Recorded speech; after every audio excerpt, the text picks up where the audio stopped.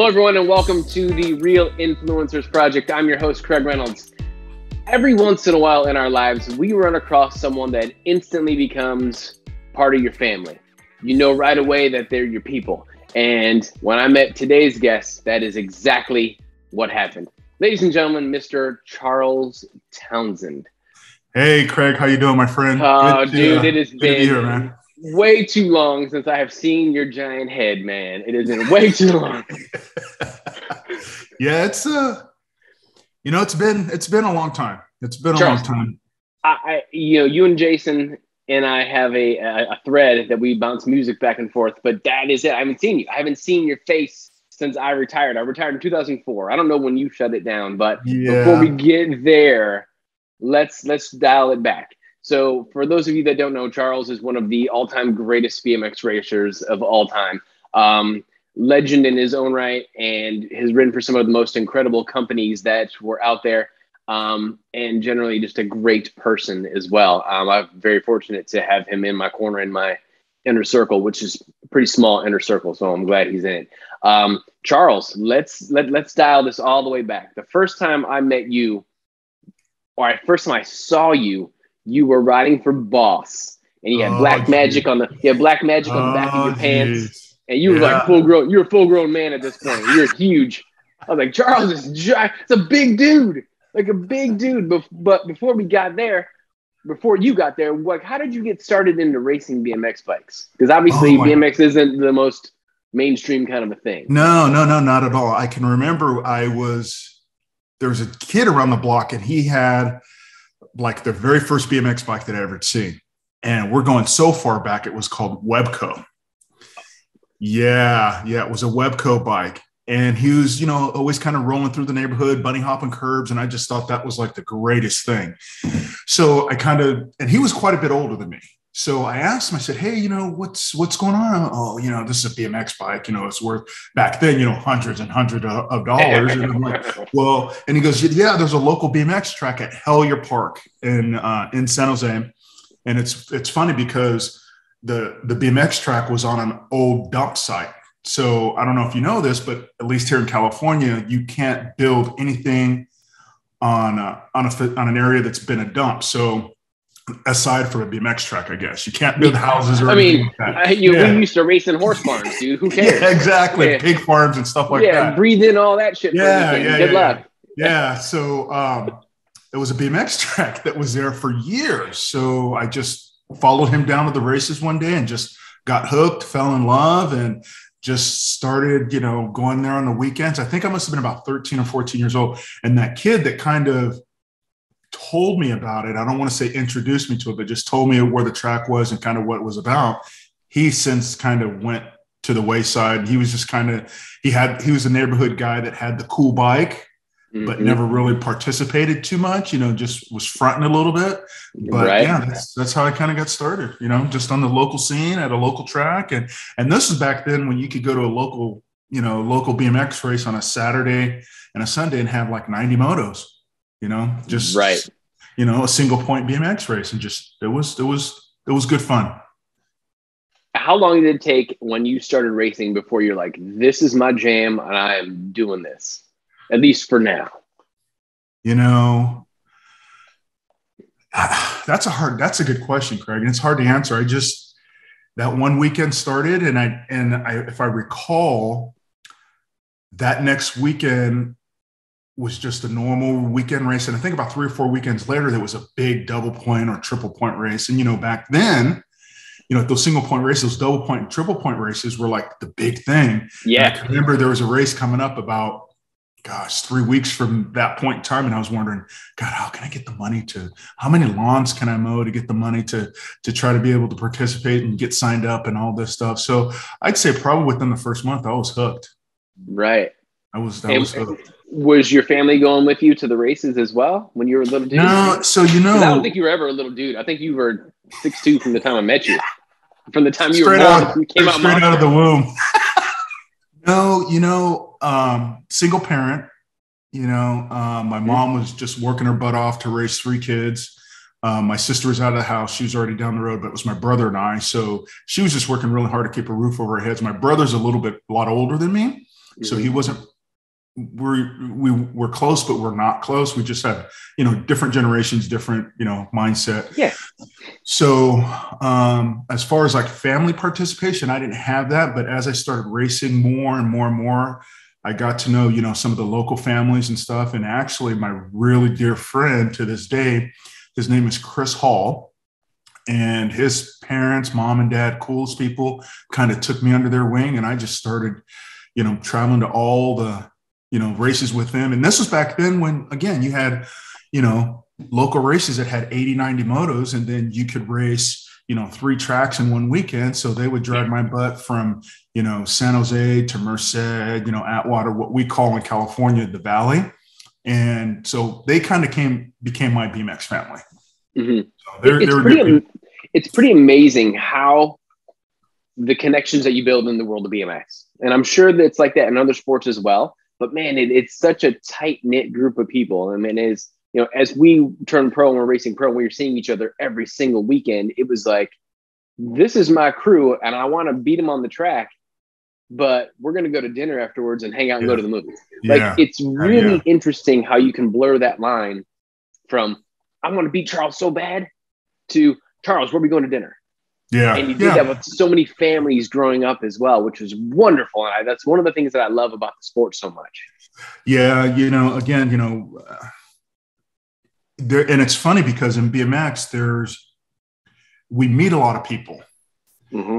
And, and I think in our era of the BMX, and I was talking to Bill Nelson about this a couple few years ago, Danny Nelson's dad, who was team, as you know, and for who don't know, was team manager for GT for many, many, many years. And that dude ran the whole program. Yeah, oh my gosh, my gosh. So I think that with the BMX group and people that we traveled with, yeah, I mean, there's just those people. I mean, yourself, you know, you and I and Jason Richmond kind of have this thread going on, but there's there's those relationships that you you build and there'll be a time where you won't talk like you and I, you won't talk to anybody for years or for a long period of time. And then it was just like yesterday.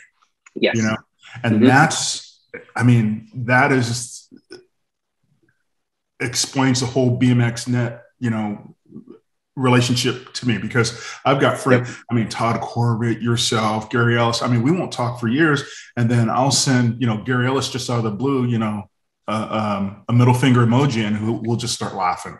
Yeah. So it's um, I was pretty thankful, and I'm I'm very I love the relationships that I have that I've gotten through BMX. So it's it's cool. And you know, with going back a little bit with the local BMX racing and stuff like that, if it wasn't for this Chris Hall family and his mom and dad, and I tell them this all the time. I said, dude, if it wasn't for you and your folks, I would not have gone anywhere in the sport of BMX because they're the ones that pretty much dragged my butt all around to the local races and stuff. And they dragged me in my first couple nationals. You know, I got my butt kicked. And then eventually later down the road, he kind of, you know, Chris got a little bit older, got a car, and I just kind of kept going with it. But if it wasn't for him and his family, yeah, yeah, I am. It's funny because I t- was telling his dad that that story one day, and he goes, "No, no, no, you were the you were the one out there pedaling the bike." I said, "Yeah, but you were the you were the one that got me to the races because you know he was pedaling the car." Yeah, yeah, yeah, yeah, yeah, yeah, yeah. And you know, and it's and it's not like my mom didn't support me. She supported me the best way that she could, but she, mm-hmm. you know, she was out there getting her hustle on to be able to keep a roof over, you know, my me and my brother's head. And so um, yeah, so I was pretty pretty lucky, pretty fortunate. Yeah, stoked for your mom. I mean, you're a big kid, man. You like to eat. I know. Can't fool me. I've been around yeah, you, Charles. Well, I tell everybody it was all that rice and kimchi you used to feed me. that is awesome. Yeah, um, so, yeah. how long did it take before you got on your first team? Um, and I think like your first factory sponsor was was it Boss? It was Boss. Yeah. How'd that come yeah, about? Yeah, yeah, yeah. So Carlo, the owner, boss back in the day, he had a knack for picking up young talent, you know. So I did really well on the local scene, and um, there's like you guys and that boss team. I don't even know how to describe it, but it was, I don't want to call you guys hoodlums. No, you guys were so cool. Like you guys were always bad news bears. yes, but you guys were always winning. You guys were fast. You were a threat. Like I had to race down on McCurdy, and that dude yeah. was fast. Like yeah. looking at like Nick Libator, who was below me, who was fast. Like so many fast people. That dude had a good eye for talent. Like he, you know, Carlo really was, good. Carlo built a really good product, and he had a Mhm. knack for for finding um, diamonds in the rough, you know. And he was always mining, you know, and he was always he was. But you know, I just started doing well in the local scene, and I think I was like, I think I was about eighteen, and I went to um, an ABA national in Reno, and it was in the back then it was the Lawlor Event Center for UNR. I don't know what they call it now. Short track. It must have been maybe 400 feet. Oh my And, gosh. Yeah, it was really short and tight. You know, typical ABA track. Yeah, Yeah. right. Yeah. Um, and I won. I won 18 over expert. I'm like, Was that your first national win? It was first national win. Wow. Yeah. So, and, and obviously, leading up to that, I had gone to some nationals, just got my butt kicked, you know, come back and do the local thing again, you know, go to a local national, get your butt kicked. And and it's funny because that was like, it was like, oh shit, okay, that's how you do it.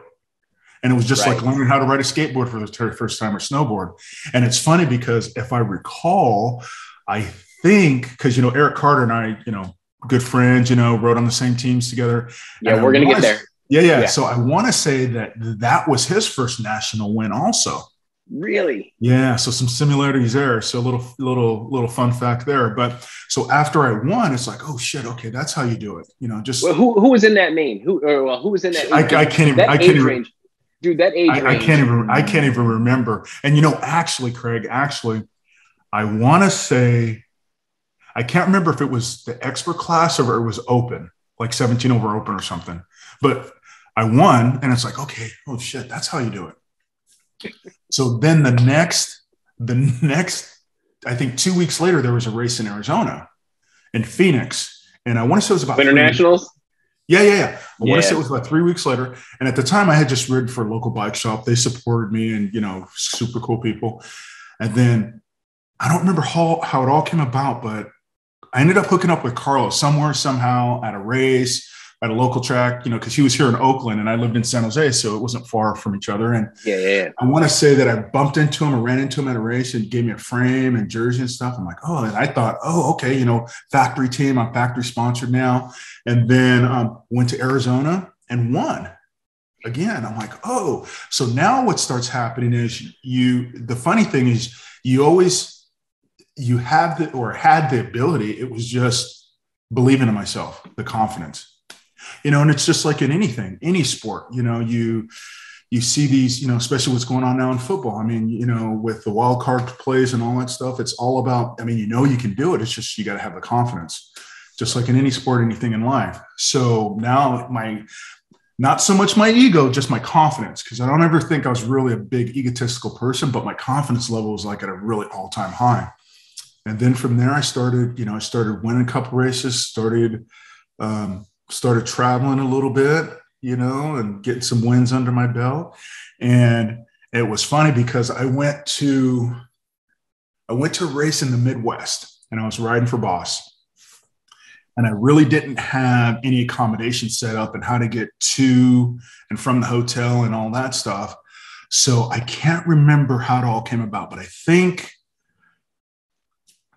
at that time, I want to say Eric Carter was riding for free agent at that time.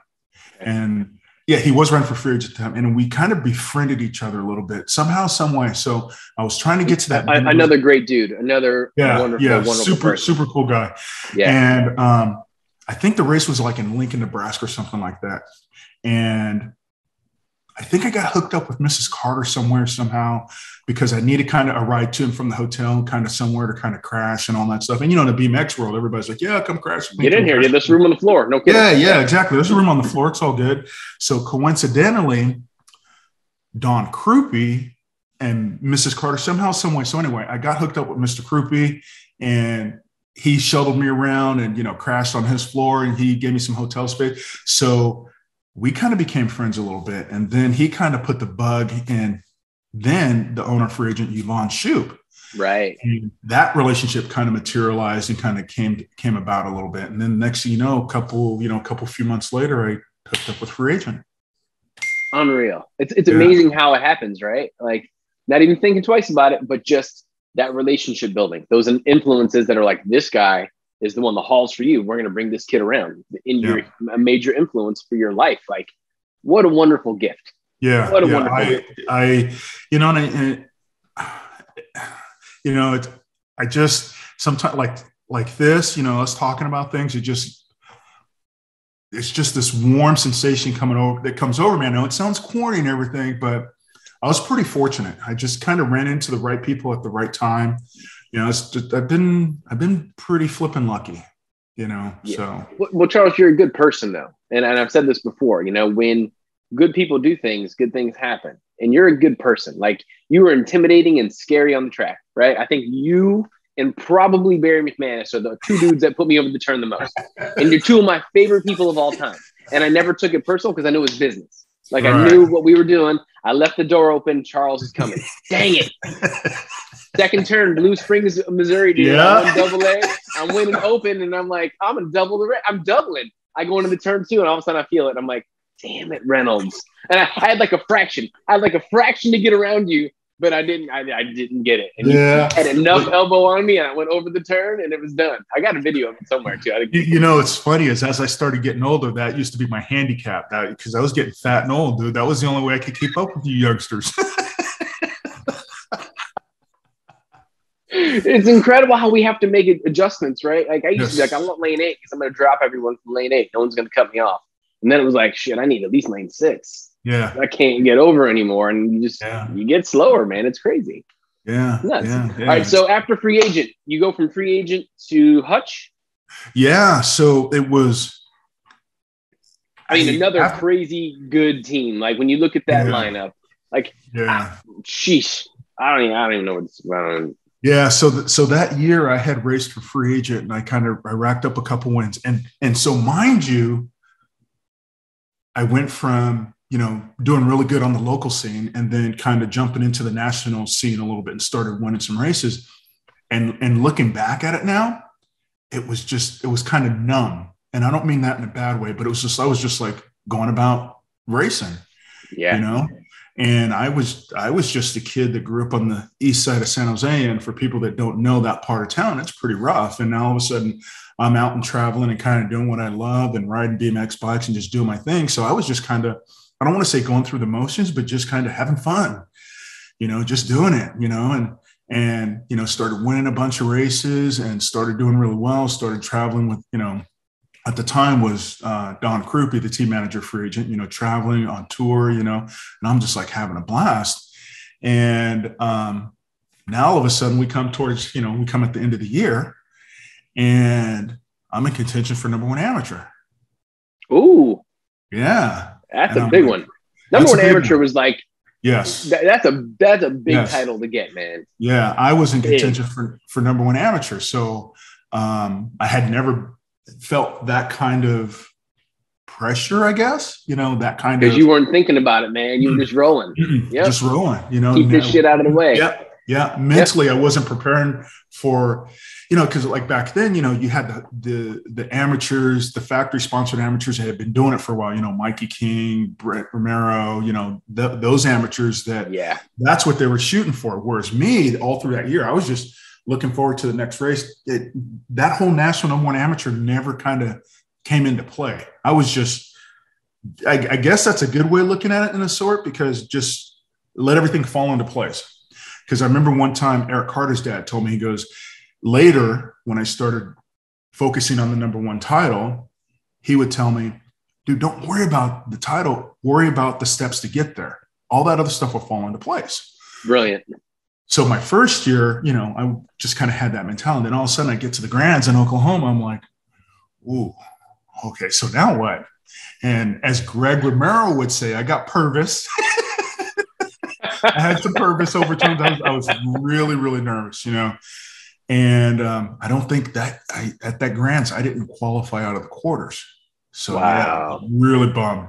And it was just a whole new experience. I've never been had that type of pressure, you know, that type of scenario. But you know, it is what it is. You live and learn. So that year, I remember Eric Carter told me a story about when he was up for a title and Doug Davis pulled him off to the side and said, You ain't ready, dude. And totally psyched him out. Like he's like, I guess Doug was really good with the mind games, right? And he said something to him and he's like, He was right though, man. I Yeah. came back the next year and got it. But I was like, wow, man, that's crazy. Like, yeah, I'm, You know, and it's- that's crazy. and, and you know what's funny is when you're when you're young like that or you know and in that moment i would think that you know doug davis may and i think i heard i think eric told me that comment but i would think at the time i was thinking god what a jackass you know that's not cool but Right. then now as we get older we're a little more mature you think about those comments you're like yeah that was probably right you know Yep. It's- oh, and, it's- and, it's- what a good mind game too. Because like, look, I'm I'm gonna beat this dude off the track real quick. yeah Yeah, roll yeah. by his pit real slow. yeah, yeah Brake exactly check him in the pits. Like, just let Yeah. him know I'm here. yeah yeah yeah But that was Um, when he told me that. I thought the same thing. I was like, "Oh man, why would he do that?" I'm like, uh, "I know why. Because he wanted to win the title too." Yeah, yeah. So, yeah, no, no. And um, so that was so that next year, the plan was that I had talked to to Don Krupe at the time, and then um, Yvonne Shoup. I said, "Hey, I'd really like to turn pro next year." And they kind of, you know, were kind of okay with it, not okay with it. They wanted me to stay amateur for another year, and I was gonna, I was gonna go pro. And then I get a call from back. Yeah, he, he's always going to be an idol of mine, but you know, back then when you're 18, 19 years old, he, you know, he's a super idol. So I get a call, I get a phone call from Mike Miranda. I knew you were gonna say it was Hollywood. Yeah, yeah. And I, don't know how he got my number or anything like that. And I remember his first words were, "Hey, hey, bud, you, are you ready for your offer?" And you know, that was he didn't say hello. He didn't say. I think he might have. Yeah, he didn't say hello. He just said, "Say, hey, this is Mike Miranda." And I said, "Oh, hey, what's going on?" And I was trying to play cool. And he goes, "You ready for your offer?" And that was all he said. And then he just kind of laid it out for me. And then, so that year, I decided to take the deal with Hutch, and I stayed amateur another year. Okay. And uh, Yvonne was really upset and bummed because at that time, um, Hutch had poached a couple of her riders, myself, Eric Carter, Mike Luna, Oh, Mike Luna, and I think I think it was Robert Zanow also. studs. Yeah, she was Yeah, she was pretty upset, and and I mean I can understand. I can understand. yeah, I can see that. I can see that. So that next year, um, went on to ride for Hutch and was Eric Carter, myself, um, Robert Zeno, Mikey Luna, um, a Chris couple other- Backus. Chris Backus. Yep, yep. And then, um, and we just we just tore it up, and that was my real first year spending a lot of time back east and racing the mail circuit. That year, I didn't do didn't do too much um, too much of the ABA stuff, but spent a lot of time back east in the South and racing some NBL stuff, which was good because that gave me time to mature as a rider and in the amateur ranks. You know, I, I think looking back at it, even though I wanted to turn pro that year with free agent, it did me good to stay amateur another year because you mature a little bit more. you Right, know? right. and, and having more because then now when I was on Hutch as an amateur, now I was kind of like um, I don't want to say expected to win, but of myself, I expected myself Sure. to, to, to, to be at the next level. So it, I, it matured me quite a bit. You know, I grew and it was, it was a good move to stay amateur. Um, and, you know, I ended up getting NBL number one. And then Eric Carter and I, we went overseas to England and we both won world championships. So it was, it was a good year. It was a, it was a good thing for me, but you know, that year on Hutch, man, it was, it was a learning experience, a good, fun learning experience. Cause we went on tour for like seven weeks and, God, we were a shit show on the road, man. Oh my, it got, and not in a bad way, Craig, but it got, it got so bad that Mrs. Carter had to fly out and make sure that all the stories and rumors that she was hearing weren't true. you got put in check by Eric's mom. oh my God. I mean, you know, we were the oldest, the oldest. I mean, I was the oldest writer on the team at that time, and I was 19.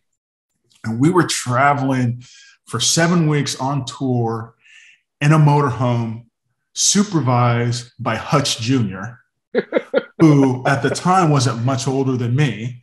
You know, I think he was a couple years older. So here you have a 22 year old team manager Uh, Mike Miranda was a pro at the time, so you know he's a shit starter. All, all you know, and and it was all good fun. You know, all good fun. And then you know, there's me, and then you've got you know a 19 year old, and Eric Carter at the time was 15 or 16, and some young amateur traveling in the motorhome. You know, through the Midwest and just yeah. So it, it, got to. I mean, we didn't do anything crazy. None of us ended up in jail or anything, but it got to a point to Mrs. Mrs. Carter had to fly out and make sure that everything was everything was copacetic. but it was, it was funny. It was, you, it's funny you, you said you stayed uh, amateur for next year. I told my dad before I turned pro that I was going to stay amateur one year. You know what he said to me? You stay amateur your whole career? I was like, really? I was like, fine, dad, I'm turning pro. He, he wasn't having none of that shit. Yeah, dude, like, you're, no. Your your dad's cool people, man. He was always he kept it real. Yeah, he he no joke.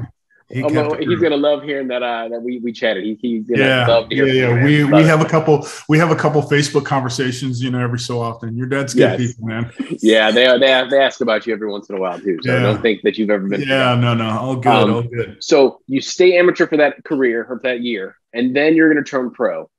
Um, yeah. Are you still on Hutch, or does this switch over to? Yeah. So what happened is, did you go from Hutch, Diamondback from Hutch to Diamondback? Is that what you did? Yeah, yeah. So there, there's a little bit of a gap in there, but Hutch had kind of gone through some financial issues and they were cutting back with their team, being sold, mm-hmm. this and that, blah, blah, blah, blah. So, you know, mind you, I'm still a, a soft hearted 19, 20 year old kid, right? And I was just totally bummed that Hutch was doing away with their program. And I wanted to turn pro, and I really didn't have, um, you know, I wasn't going to have the backing you know, to be able to get to these races. So at the time, I had called. I don't shit. I don't even think anybody knows this story. So I haven't really told too many people. But I was so desperate and I wanted so bad to go to Columbus because you know back then Columbus, Ohio, that was like the first NBL race of the year um, for the season. Christmas the, Classic, one of the Christmas greatest Classic. races. Yeah, God, I love that. You know, it, the track was always cool. It was indoors. Everything was there. You didn't have, to. you know, it was it was a shit. Yeah. It was it was yeah. one of the best it was, races. It, it, was like the, the event of it all, right? Yeah, the, yeah, yeah. Atmosphere and everything about it was just super cool. Yeah, it was super cool. So that was when I wanted to turn pro, and I had kind of been thinking about that, and then knowing that Hutch was going to do well with the program, and I was kind of I was kind of bummed. So I had called Gary Ellis's dad. Mm. And at the time, he um, at the, if no, you know, for people that didn't know, Gary Ellis's dad ran Adventure Travel. So he booked all the flights and all a lot of flights for all the yes. teams and all that stuff, right? They were so, the go-to. They knew right. everything. I was like, yeah. he was calling and giving my name, and they yep. were like, "All right, Craig, you're yep. gonna be on this flight. Your yep. flight bag is gonna get on. Here's your ticket. Do do do do do. Done. Thank you. Yeah. Brilliant. Brilliant. Brilliant. Brilliant. brilliant. Yeah. And you know, back then, before all the whole, you know, the e-ticket and the email and all that stuff, you know, you just got a ticket in the mail and you yeah. knew it was coming. Yeah. You know, it was, yeah. Never questioned it. No, yeah. it was on time like clockwork, you know? Mm-hmm. So I called him and, you know, everybody always thinks travel agents can get free tickets and all this stuff and got the hookup on tickets. So, you know, that was my thought. So I called Ellis Sr. and I said, Hey, you know, I was, I was bummed and he could tell that I was you know, do you have is there I got to get to Columbus. And I don't remember how I worded it. You know, it's my first race. I want to turn pro there. Gary Ellis's dad, rest in peace, was another cool dude. He actually bought me a ticket to Columbus, Ohio. Wow. Yep. Yep. And I don't remember how it all came out or how it all came about. I remember just having a conversation with him. Hey, you know, I need, I really want to go. And so anyway, he ended up he ended up buying me a ticket, Columbus, Ohio.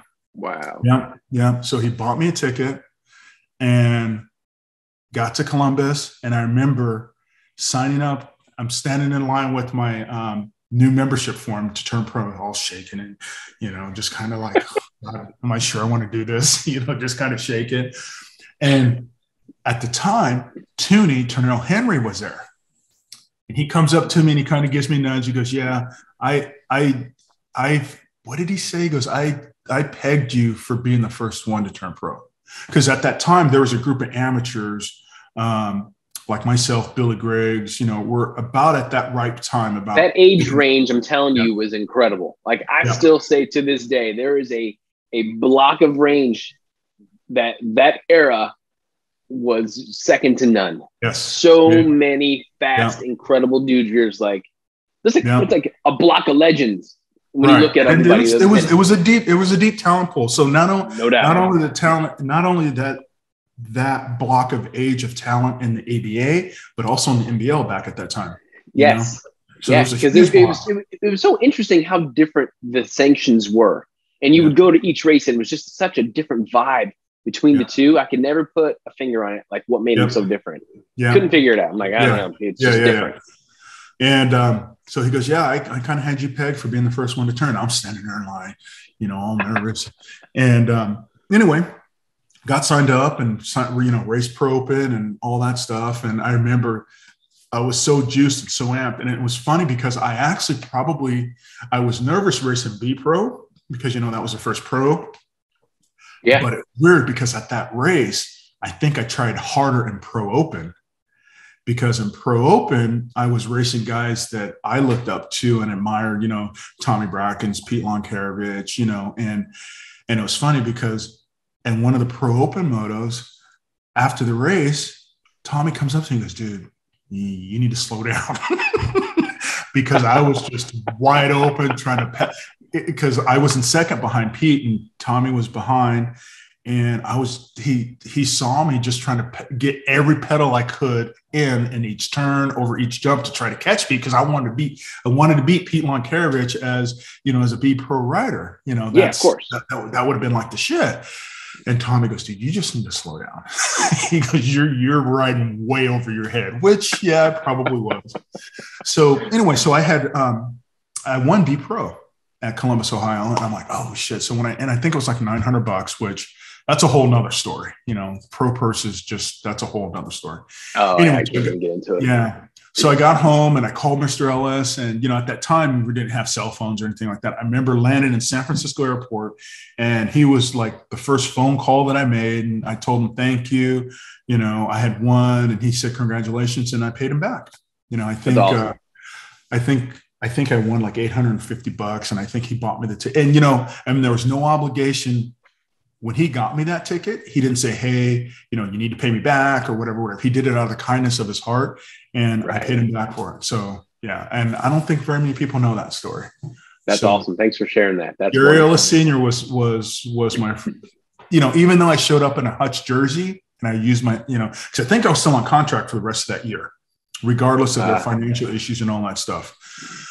But, uh, you know, Gary Ellis Sr. was my first, uh, my first pro sponsor, so to say. He bought my ticket to to Columbus, Ohio. Yeah, and it's funny because I years later, I think I said something to Gary Jr. about that, and I don't even think he knew. Really? Yeah. Yeah, I don't even think he knew. And not that his dad was keeping secrets from him or anything like that, but it was just senior was just cool like that. He didn't have to let everybody know. And you know, Gary Jr. is kind of like that also. He's the type, kind of like myself. He, he doesn't have to put it all out there.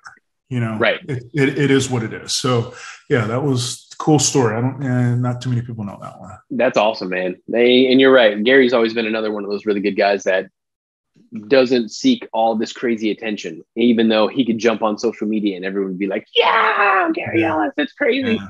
He's yeah. just there doing his own thing, and that's that's that, that's respectable. He he definitely flies flies under the radar. You know, I know. I've asked him to do these things. He's like, "Yeah, man, I don't know." I'm like, "Come on, man!"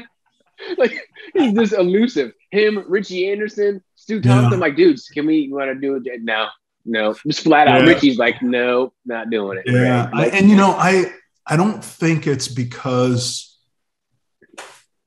they're.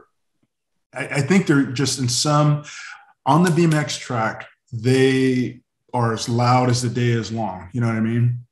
But mm-hmm. away from it, you know, that's that's that's kind of like you know on the BMX track they can speak as loud as they want, but when they're away from that, they're just really quiet people, and they're right. not, you know. And some people, it took me a, a, while when I first started traveling with GT bicycles and all that stuff, and I got to know Eric or Gary.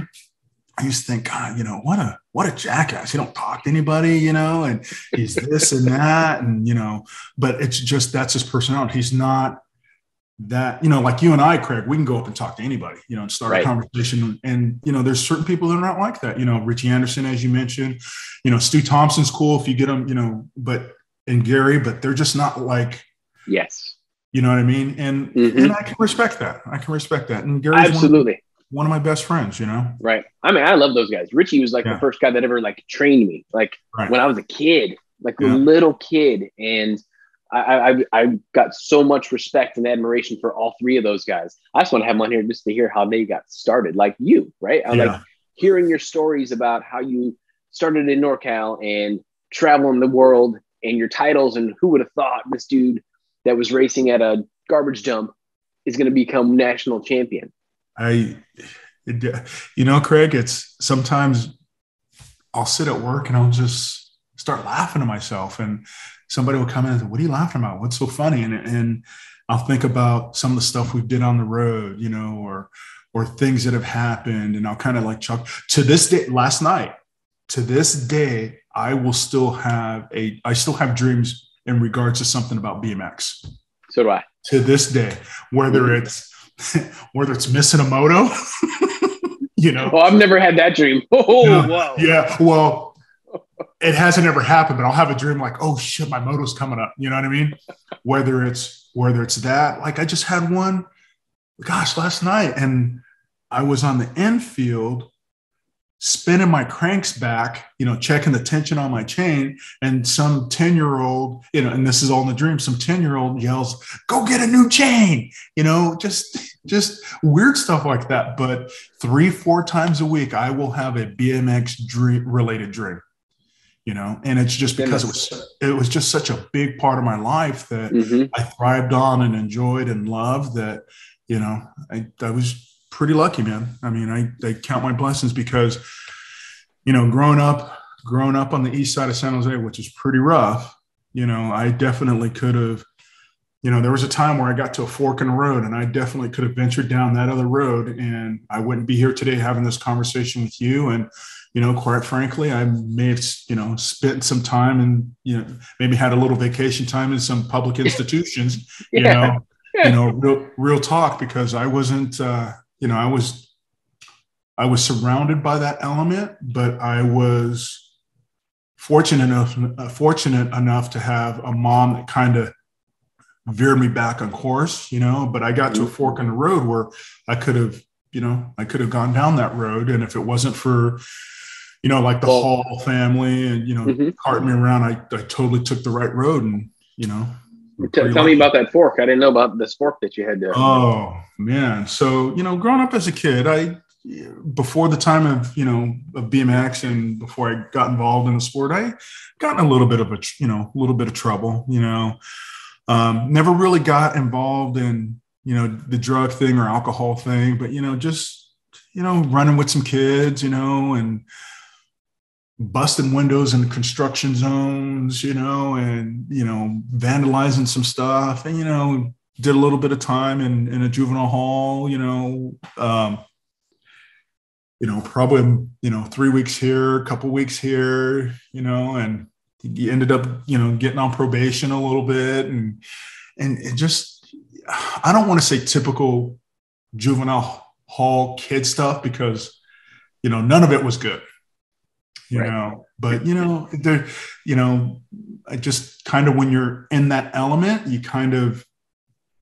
get drawn to it a little bit and not to make any excuses but you know i was in that element and you know was ju- you know kid 13 14 years old had gone to juvenile hall a couple times and ended up being on probation for a little bit you know and one time i got into i can't remember what i got in trouble for but i got in trouble and um, my probation officer at the time said hey, you know, next time you get in trouble, it's it's going to be a big deal. And I'm like, okay.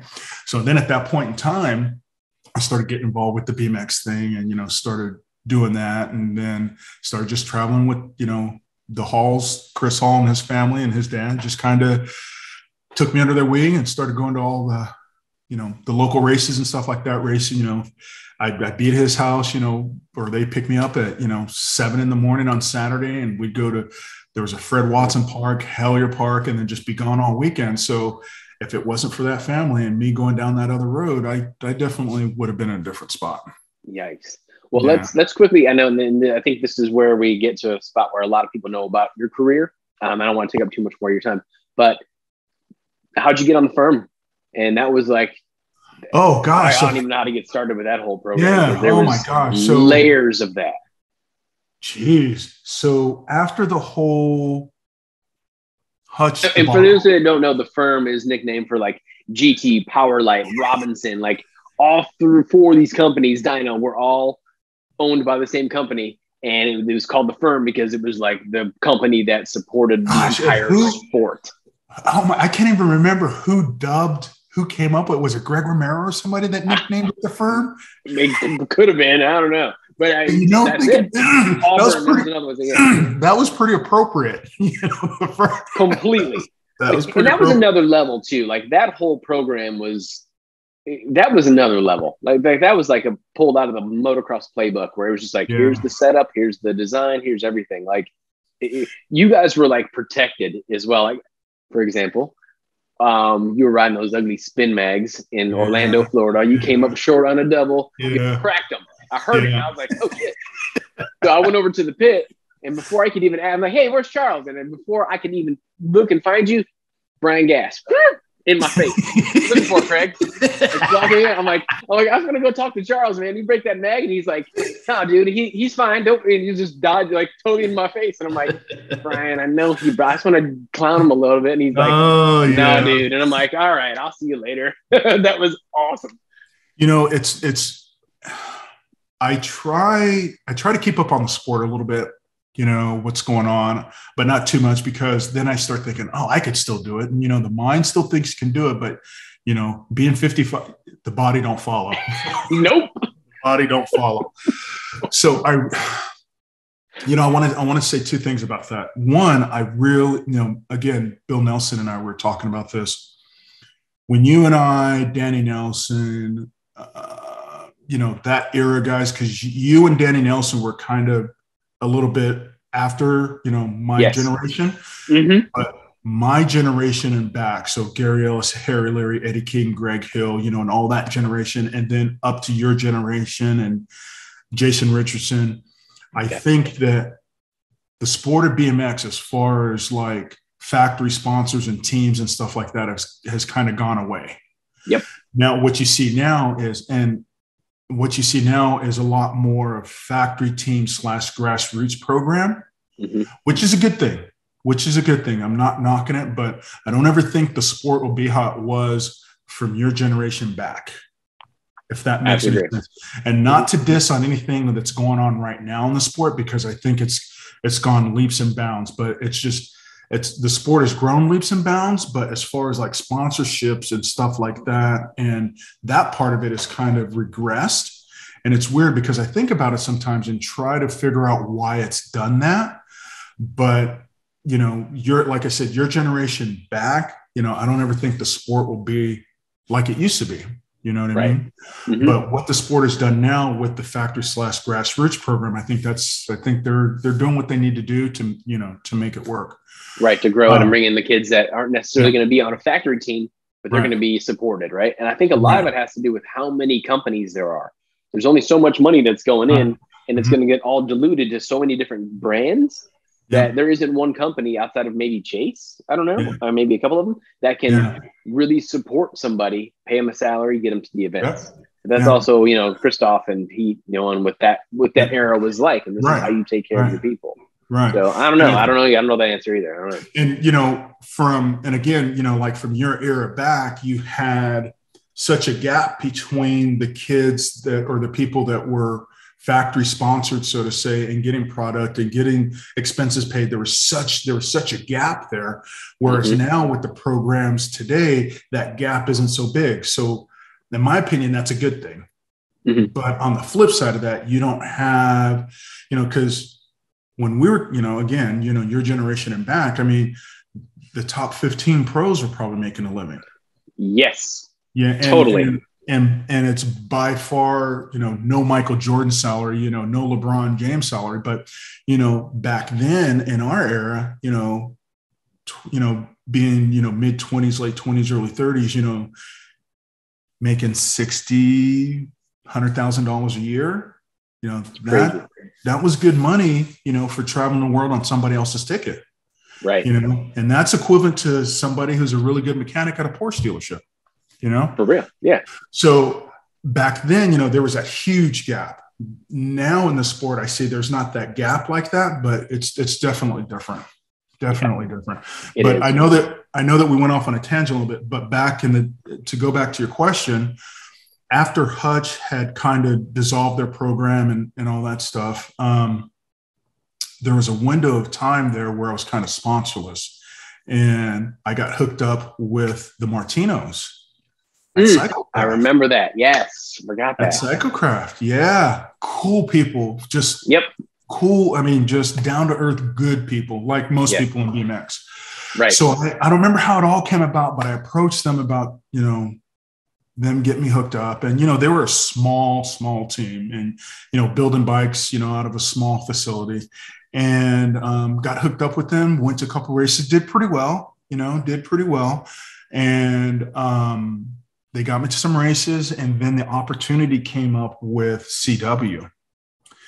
And yeah, so the opportunity. Forget about CW Yeah. all of the Yeah. time. yeah. God, it's So like op- when I, I did this with Tommy Brackens and I forgot he was on Powerlite. I get just Yeah, so stupid. I'm like, I know yeah, yeah. this. Yeah, yeah. Ah. All right. So the, CW. Yep. the, the the opportunity came up with CW. Wait, did you have to ride those ugly bars?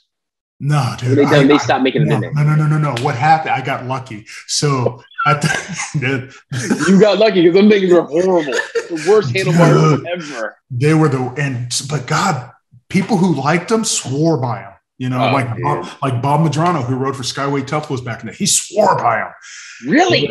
Yeah, yeah. But I got lucky because at the time, CW had started a little, um, and it, it, this one evolves, but it started a little little company called Shadow Racing, I remember. and he did a pair of normal bars. So that's how I kind of skirted that. I said, "Hey, can I just run those shadow bars?" He's like, "Oh, okay," because I didn't like the CW bars. So, uh, for, so I was on I was on Cyclecraft for a couple. I want to say almost maybe like nine months. I got to some races, started winning some races and stuff as a pro, and the opportunity came up with CW. And I really felt one, probably one of the hardest phone calls was to call the Martinos and let them Yeah. know that I was going to go and ride for CW because they were just great people, you know, stayed at their house in Kingsport, Tennessee, and Yep. just super cool people. Love them to death. But at the time, it was just that was the next move I had to take. And at the time, I think they were pretty upset with me. But then as time went on, they they kind of knew that it was the next step that I had to take. So ended up racing for CW for that, you know, for that year, did really, really well. And then at the ABA Grands one year, or prior to that, I get a call from Roger, the owner of CW. He says, Hey, so we're going to start a new line of bikes. I'm like, Okay. He goes, It's going to be called RevCore. I'm like, Okay, okay. So this was probably about three months before the grand. So he sends me a new bike. So I put this new bike together, and um, Friday night at the Pro Spectacular, I raced in CW stuff, and then the next day for the grands, I raced in RevCore stuff. What? Yeah, yeah. So everybody What was the kinda- difference between the bikes? Like, was there any different? Or they Aesthetics. just rebranded? Yeah, Okay. just just aesthetics. You know, they added a gusset here and did this Yeah. and changed the dropout, but the overall geometry was the same. So the transition was was seamless. Okay. Yes.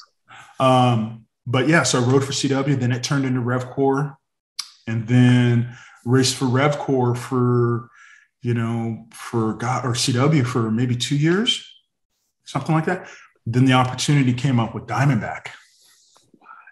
Yeah, I know. I sound I kind of kind of sound like a little sponsor whore right now, but no, you've got some good rides though, dude. It, it's it, it's so awesome because a lot of people have so many sponsor issues and like I got kicked off of this or I couldn't find a Yeah. ride, and I'm like some of the greatest people that are in our sport having sponsor issues. And I'm like, man, that's just commonplace, I guess. But your story, man, Jesus.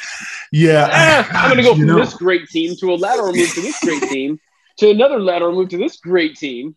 I'm to trade in the Porsche to get another Porsche. Yeah. another well, Porsche. Yeah. Okay. fortunately, fortunately, fortunately enough, it was just the natural, natural progression. You know, I kind of, so the whole Diamondback thing came about. Um, you know, Harry Leary had approached me and, you know, I said, yeah, sure. You know, it just kind of all worked, you know, not to go into great details, but there were some, some rumblings going on with CW about what their programs are going to be. So anyway, so I moved over to Diamondback. That was a great year. Learned a lot from Harry. Raced with Matt, you know, for Matt Hadan for that whole yep. year. But then again, you know, that right about that time is when the whole mountain bike industry was starting to boom and all that stuff. So a lot of companies were taking money from their juvenile, you know, yeah. they call the BMX line juvenile line, and they were taking money from their juvenile line to support their mountain bike stuff. So at that time, um, Diamondback did away with their program. So here again, at the beginning of the year, I'm sponsorless. And I thought, okay, you know, what am I going to do? And, you know, just like my knucklehead itself, I just kept perse- persevering, persevering, went to Reno as a, um, that next year. I can't remember the time frame, mm-hmm. and just had you know JT Leathers, JT Jersey, and kind of did the independent thing for a little bit. And that was right about the time when GT Bicycles had purchased Powerlite. And didn't really even know about it. I don't think anybody really knew. And then I got a call from Todd Huffman one weekend. And he said, Hey, between you and I in a fence post, but we're we've acquired Powerlite Racing. I'm like, wow, okay. And we want you to come on board to represent the Powerlite side. I'm like, oh, okay, great. So I was ecstatic because I was going to become part of this great company, or, you know, another great company. But it was kind of nerve wracking a little bit because that time for it to happen, they still had to finish up their loose ends with acquiring a company or whatever they want to do. So there's about a three, four month period where I was still sponsorless, but knew that this was coming to fruition. Right. So there was a little bit of a window there. But then, so that's my first, to answer your question, that was my first um, foot in the door with the firm, so to say and then I raced for Powerlite for you know a year or two, and then they trans- transitioned me over to the Robinson side because at that time Greg Hill was still racing for Robinson, and then he went on to retire, and then they moved me over to Robinson, and then I had been there for you know for the duration of my career, and it was I love the firm, great people, you know, had a really good time, and wouldn't wouldn't change it for the world. That's awesome. That's eh, eh, and again, listening to that whole story, that that that trajectory from the beginning to now until where you, where you ended up, that is fascinating stuff. Yeah. The people that were were so supportive of you, and I think again, Charles, I think it's because you're just a good guy. Like there, that that speaks volumes to your character. Well, you know, I, I have a firm belief that we can't please everybody all the time, right? And if you are, you're doing something wrong because along the way, along the way in life, you're always going to piss somebody off. But I think for the most part, the people that I've met, and I'd like to think there's maybe one or two people that you know you've been there craig where you've gone out and you've done clinics you know on the weekends and you know you've done you know we've done you know one weekend you have a national the next weekend you have a national and then that week you're back there doing clinics and stuff. And sometimes i think about the the youngsters that we've come across you know back then the you know when we were in our 20s you know the kids that were in our clinics that were 11 12 13 mm-hmm. i like to think back at moments like that to just think that if i could have inspired one or two you know of those little kids to whether it was bmx or do something else in life that i've said something to them that have made them you know keep moving forward then dude it's it's all good but i i think for the most part and yeah you know back in the bmx days you know i'm sure i you know i know that like t- john Purse and i we've gotten into a tussle and you know matt matt and i are pretty good friends and we've gotten into a little bit of a tussle. We've all had our little bit of tussles but i think genuinely you know as as in the sport of bmx i think genuinely we know who the good people are and who are the kind-hearted people you know deep down inside and i just try to I just try to be myself and I try to help out as many people as I can along the way, you know. And if I piss off a couple people doing it, then you know, so be it. But you know, it's life's too short to be, you know, trying to get over on people. You know, right? So I Which, just try. You know, we and I don't want to take too much more of your time. I already said it, but we yeah. you and I can keep doing this forever. Yeah, yeah, yeah, yeah, At some point, Zoom's going to come in and go, "You have you done?" um, what do you think that you learned from your racing career and I think what you just said was really poignant about trying not to get over on somebody. Um, you're now in auto sales, right? And you have been for yep. quite some time. Yep. What did you take from your whole career that you applied to? Because you're successful at what you do now, otherwise you st- wouldn't still be doing it. And as long as I've known you, you've been doing it. Um, right. What do you think that you've taken from that to to be successful where you are now? Not to. Uh not to give up when there's a when there's a roadblock.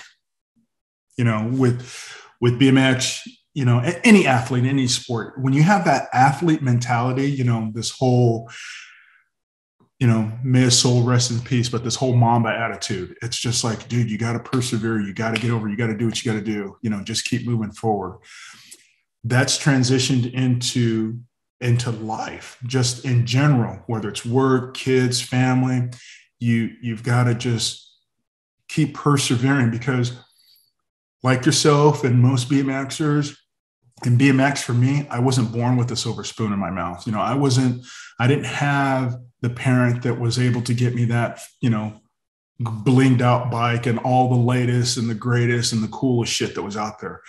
I, I, we, we came from the day you run what you brung. You know what I mean? if you had some big ass box bars and you remember the uh, the aluminum fluted seat posts and shit. Yes. You, you, know what gear do you got on your bike? I don't know. Whatever was on there when I bought it. You know, you run you run what you brung, and with myself in BMX, I just had to I had to work for everything that I got, and in life now, especially you know in my type of work, it's just I I get thrown obstacles all day long. You know, whether it's because you know, as you know, I'm a finance manager in a dealership. So, you know, it's dealing with the banks, dealing with that. So, what I've taken from BMX into my work life is like, you just got to keep going and keep moving forward. And you just got to get over the next obstacle to be able to get to that next objective to just, you know, keep persevering, you know. And I was talking to my lovely aunt the other day who lives in Los Angeles, and she goes, you were so, she goes i'm so proud of you because you were so successful you know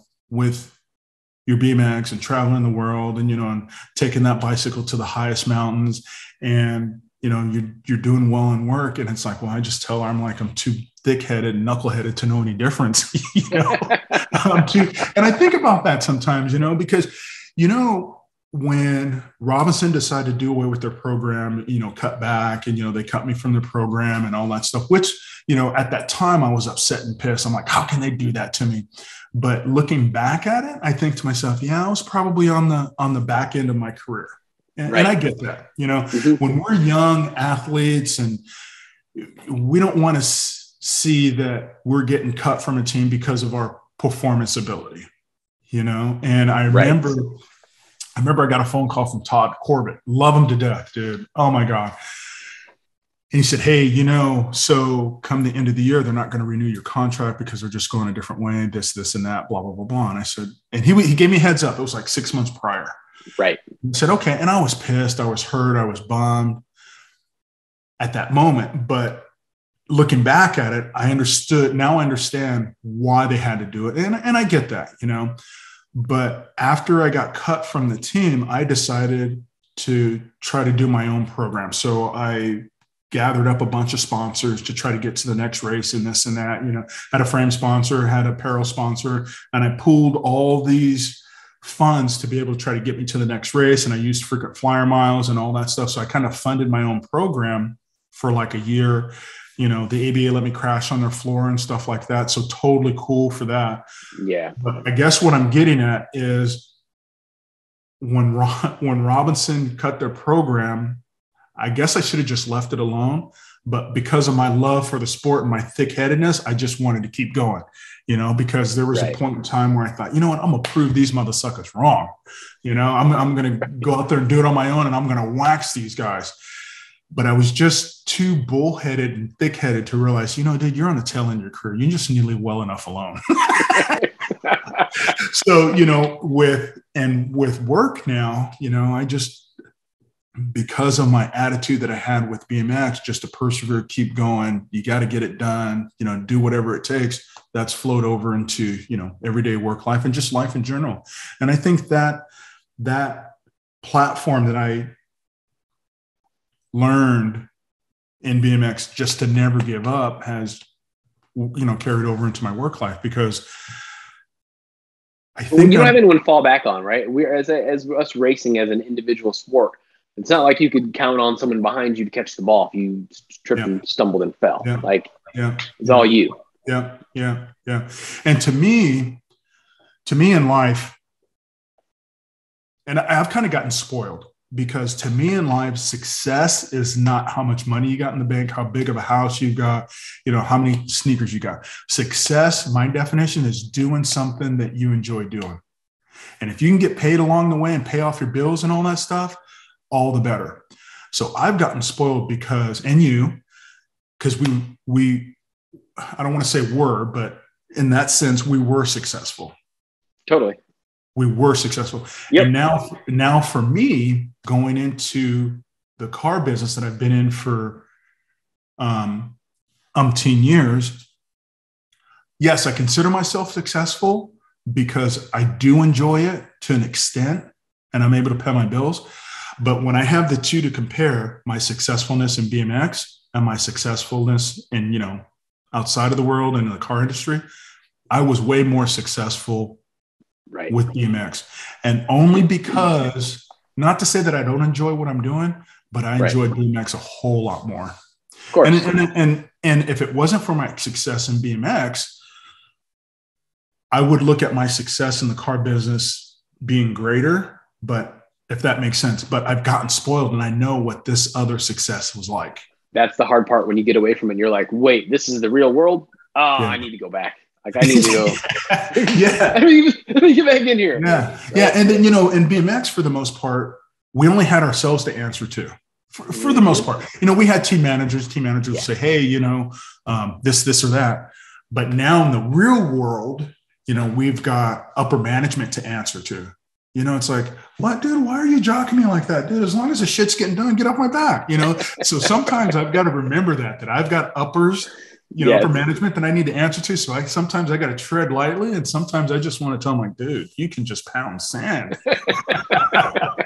Do you know who you're talking to? Right? Yeah, you know, I'm in the BMX Hall of Fame. I'm Charles Townsend. Shoot, are you crazy? Let me go get my plaque. I'm gonna show it to you. What year did you go in? What, what year did you get inducted? Oh, was it 14? Yeah, I'm bummed out. I missed that one. I wish I. Oh, you know what, dude? It's you know, it's not like you live around the corner. You're clear, ah, clear across True. the country. So I'll give you a pass on that one. I'll Thank you. you I appreciate it. All right. Hey, but you know what, man? I'm, uh, you know, California's getting expensive, and they're doing, uh, you know, our our our governor's you know crazy doing some wacky stuff, and well, California, yeah, California's getting expensive, bro. I've been I've, I've been looking out your way, you know. You are not the first person that has said that, dude. Like, there are so many people that are like, "Yeah, what's North Carolina like?" I'm like, dude, the cost of living here is ridiculous. Like the first time I moved here, they're like, "Don't live in Mecklenburg County. The the the, the property tax is crazy." And then when I saw the property tax, I was like, "Hold on, I mean, I'm gonna pay." Oh, here, take it right now. They paid this for a couple years in advance. for real. You know the ga- gas here this morning, the cheap stuff is four dollars and ninety cents. Nope. And that's that's in the Sacramento area where my aunt lives in L. My aunt lives in LA. LA. The cheap stuff there is five bucks a gallon. Nope. Yeah. So I don't know, man. I've I've been, you know, I'll, Charles, I'll, jump on a plane. I'll come pick you up and I'll give you the tour. I don't know though. That's that's summertime humidity does nothing for this hair, yo. Just shave your head, dude. shave your head. I'm, get, I'm getting there, dude. I'm I'm getting. I'm. I'm, I'm telling you. I'm about ready to walk into the place and say, I need the Craig Reynolds special. Dude, just come. I'll cut your hair. Just roll in. Bring it on. I'll take care of the whole dome. Might take a couple of hours. That giant. Oh, see, I knew we were going there. You're gonna charge me a little bit extra for the extra mileage? You, I'm, I'm, I'm gonna have to sharpen up my blades. oh man, you might have to. Charles, man. It, it has been so fun to catch up, and this is a true testament to friendship because it feels like I just saw you yesterday, yeah. but I haven't talked to you in forever, man, outside of those text messages. So, um, what a treat to get a chance to catch up with you, even though I've been asking you for months. Dude, you know, Craig, it's it's definitely a pleasure. I haven't done, I gosh, I don't think I've done very many of these, but uh, you know, Craig, I you know, you're cool people, your family are cool people, you know, your parents, everybody. I you know it, and as you know it wasn't that i didn't want to do it it's just you know our work schedules and all that stuff and life busy. happens busy you're the best and it's definitely my pleasure dude. It was it was definitely my pleasure so. I'm going to leave you with this one thing. I remember one time we were behind the gate and i said good luck and you said hey man listen. When i don't respond it doesn't mean i don't wish you well but my mom told me if i tell someone good luck i'm giving my good luck away. And i said True. oh dude all right. And True. i respected that because i was like True. That's awesome because now to this day, when I say it, I'm like, oh wait, hold on. Should I? What, how do I say this? What should I say? But I remember that, and it was. I remember. I swear we were right behind the gate, getting ready to. Yeah, yeah I remember that. I so remember that. That's that.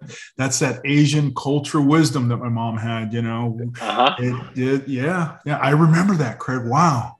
It was awesome. Yeah. I love that, man. That was just one of the many times of great memories with you, and I, I've. It was an honor and a pleasure spending that time with you, Charles. Thank you. No worries, my brother. No worries. You take care All of right. yourself. Greg. You as All well. Right. If you guys like what you're seeing, make sure you subscribe right here. And if you're listening to Apple Podcasts, subscribe there as well. Charles Townsend, you're the man, dude. All right, brother. You take care. Talk to you later. brother. Peace. See you. All right.